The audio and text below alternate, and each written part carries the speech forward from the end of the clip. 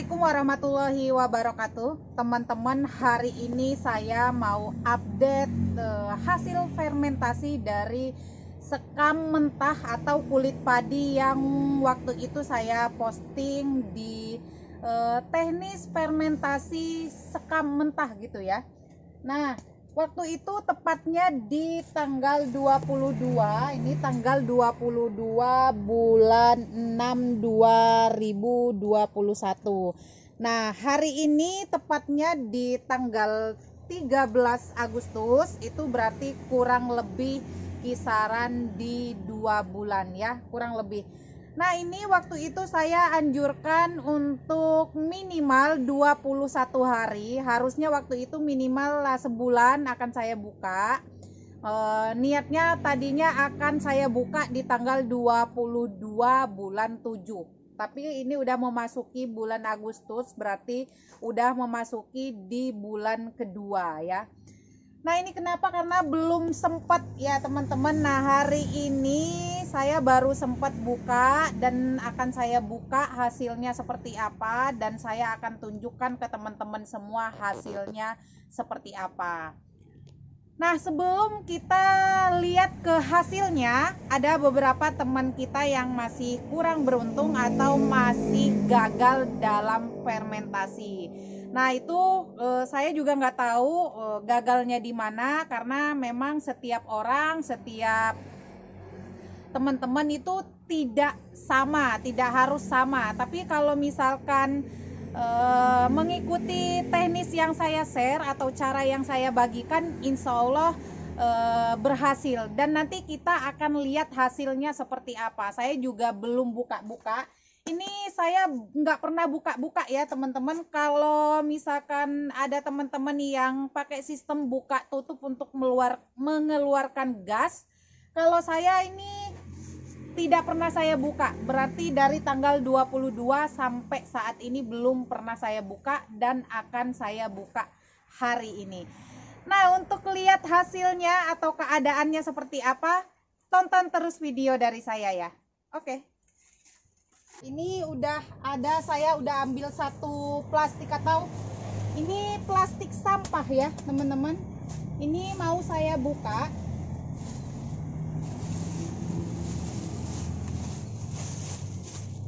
Nah ini kondisinya atau keadaannya. Nah seperti ini Nah ini biasanya ya teman-teman kalau misalkan teman-teman semua udah fermentasi, udah berhasil, ini udah nggak terlalu tajam ya teman-teman, udah nggak terlalu tajam dan warnanya sudah agak kecoklatan seperti ini ya. Jadi udah e, mateng istilahnya ya gitu. Jadi kalau udah difermentasi seperti ini, ini tidak akan pernah tumbuh. Biasanya ada sisaan-sisaan e, padinya itu yang akan tumbuh jika belum difermentasi dengan baik dan benar. Ini berhasil ya, teman-teman. Ini berhasil. Ini enggak bau. Nah, hasilnya seperti ini, teman-teman. Nah, Uh, ini saya gunakan media rata-rata pakainya sekam bakar karena saya males fermentasinya. Tapi ini kemarin sudah sudah saya fermentasi jadi mau saya pakai. Nah kalau biasanya saya pakainya sekam bakar satu banding satu. Nah kali ini saya berhubung karena sekam fermentasi atau sekam mentahnya ini sekam lapuknya sudah jadi jadi nanti e, campurannya yang tadinya sekam bakarnya satu tanahnya satu saya akan pakai e, sekam sekam fermentasinya setengah e, sekam bakarnya setengah tanahnya satu. Karena ingat sekali lagi ini daerah saya daerahnya panas jadi saya pakainya dibanyakin tanah jadi nggak terlalu poros yang bisa menyebabkan media cepat kering Nah ini intinya adalah e, berhasil ya teman-teman. Kalau untuk teman-teman yang sudah pernah coba tapi mengeluarkan bau yang tidak sedap Itu artinya e, gagal. Itu mengeluarkan amoniak yang tinggi ya.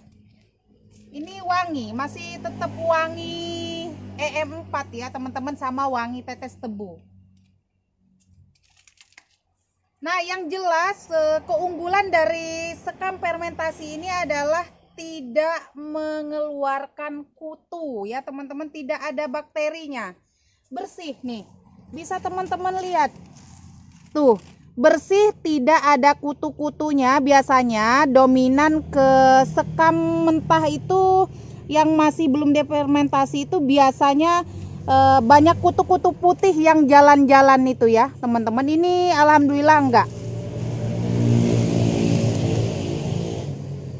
Nah jadi ini mau saya pakai untuk media nanti e, perhitungannya adalah satu ini ya satu pot satu pot tanah. Ini tanah papringan ya teman-teman. Nih akarnya aja masih belum diayak. Lebih bagus lagi jika diayak nah ini tanahnya satu. Sekam mentahnya setengah. Dan ini sekam bakar ya teman-teman sekam bakar. Sekam bakar ini dingin ya untuk tanaman. Ini juga untuk menjaga kelembaban media. Nah seperti ini kalau biasanya saya kalau mau pakai e, sekam mentah sekam busuk fermentasi ini satu banding satu. Atau kalau mau sekam bakar satu banding satu juga. Tapi karena ini mau saya pakai semua yang sekam mentahnya pakai sekam bakarnya pakai jadi tadi setengah-setengah tanah satu. Nah ini kalau menurut saya udah cukup poros tidak terlalu padat dan juga tidak terlalu poros ya atau tidak terlalu gembur sedang nah seperti ini ini kenapa alasannya saya nggak pernah mau pakai sekam mentah karena e, suka masih ada bakterinya atau suka banyak kutu-kutunya. Nah, ini saya juga kalau yang belum difermentasi bisa menyebabkan gatal-gatal pada kulit ya, teman-teman. Kalau udah difermentasi seperti ini aman.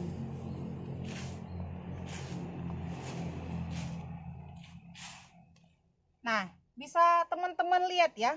Ini cukup lumayan gembur lumayan tidak terlalu padat dan ini juga nantinya tidak uh, tidak cepat kering karena tanahnya satu ini mau ini enggak saya kasih puradan ya teman-teman karena ini masih media baru tidak media bekas. Jadi masih aman. Nah ini bisa teman-teman lihat Ini kalau yang masih kulakan atau belanja di petani Itu biasanya medianya gembur banget Medianya banyak sekamnya Tapi belum ini masih suka ada jamurnya seperti ini ya teman-teman Kalau belum difermentasi nih seperti ini Tuh Masih suka tumbuh jamur Nah ini nanti kuncinya adalah disemprot atau disiram fungisida. Nah, ingat ya, teman-teman, ketika teman-teman tanam begonia itu jangan terlalu dalam.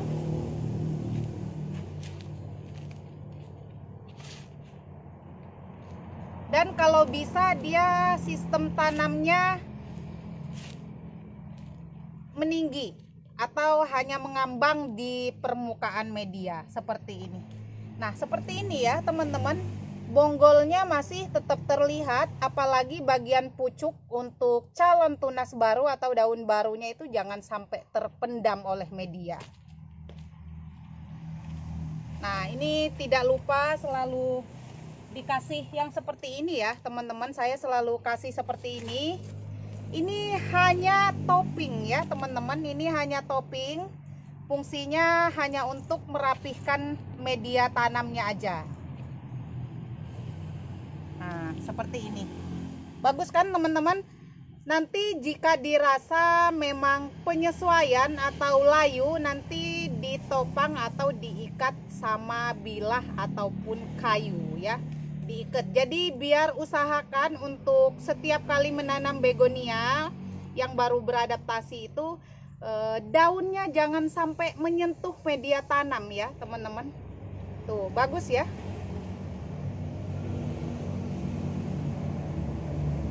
Ini ngelobanginnya belum selesai harusnya dilobangin.